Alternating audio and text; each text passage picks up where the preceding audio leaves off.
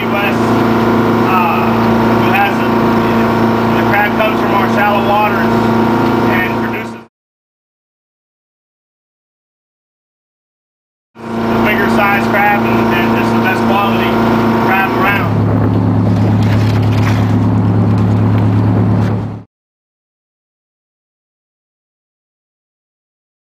Here we go. You get the joints, pop. You don't go back in the water. Once again, you